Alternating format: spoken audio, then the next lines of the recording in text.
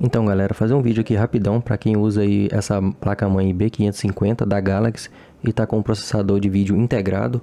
E para quem quiser então aumentar ali a memória de vídeo do processador, no caso, no caso a placa gráfica integrada do processador, então ela tem ali uma memória também dedicada, no caso que pega da memória RAM. Eu vou mostrar para vocês aqui na BIOS como fazer então para adicionar as memórias aqui, a, a memória RAM para a placa de vídeo integrada do processador do Ryzen 5 600G.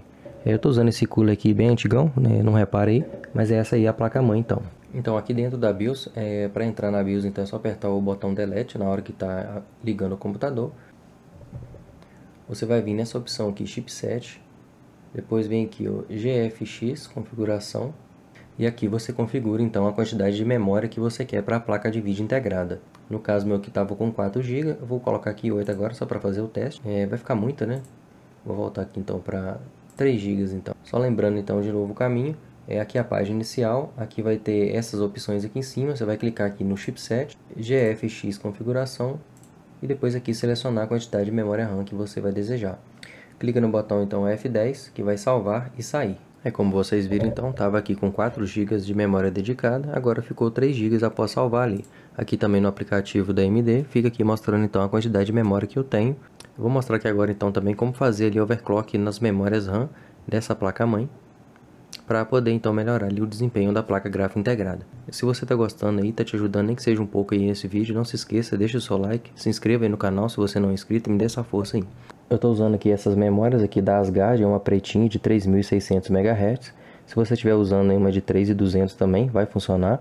É, precisa de fazer alguns passos ali na placa-mãe. Eu vou mostrar agora na, na BIOS. Eu vou mostrar agora como fazer então. Aqui dentro da BIOS então, você vai vir nessa opção aqui Turbo. Você vem nessa opção aqui ON Memória Overclocking.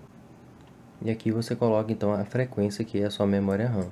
É, lembrando que algumas frequências, por exemplo, que o 3200 tem ela 18, 18, 18, 18, 38 e tem ela 18, 20, 20, 20 38. Veja qual é a sua memória para poder funcionar certinho ali. Às vezes você vai colocar nenhuma e não vai funcionar. No caso aqui também na frequência de 3600 aqui tem três opções, que é 16, 18, 18, 38 e tem a opção 18, 20, 20, 20, 38 e tem a opção 18, 22, 22, 42. Eu vou testar aqui primeiro nessa outra mais forte, porque eu sei que o CL da minha ali é bem alto. É, outro passo bem importante também que você precisa fazer, clica aqui uma vez no ESC, é essa voltagem aqui, ó, de voltagem é, você vai precisar de acrescentar aqui alguma voltagem.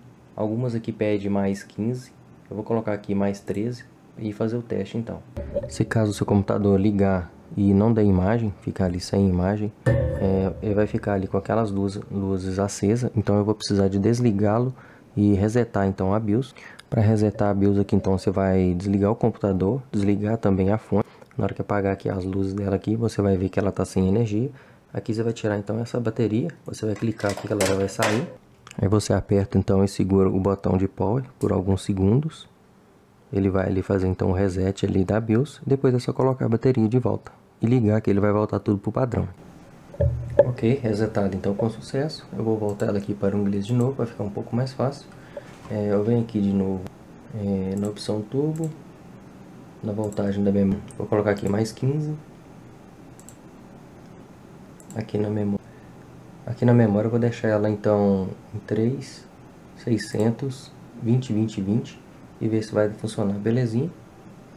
É, vou voltar aqui de novo e voltar lá as configurações da placa de vídeo. Ela volta aqui o padrão em 512 MB. Vou colocar aqui salvar em 4 GB. Aperto o botão F10 e o Enter para sair.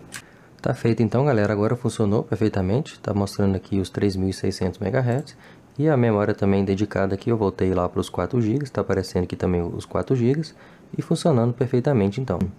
Tá aqui então, bem do lado aqui, funcionando.